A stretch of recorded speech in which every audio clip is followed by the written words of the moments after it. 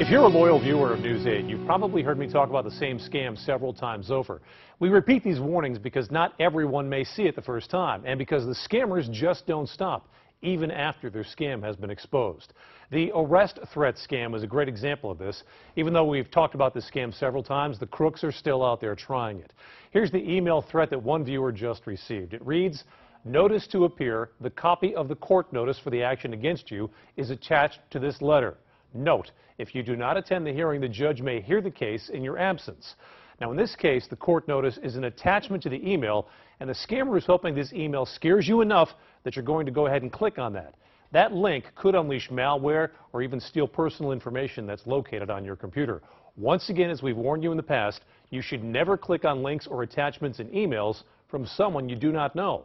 This threat scam can also come in the form of a phone call. Remember, if real legal action is pending against you, most of the time you will receive something in the mail or police will pay you a visit.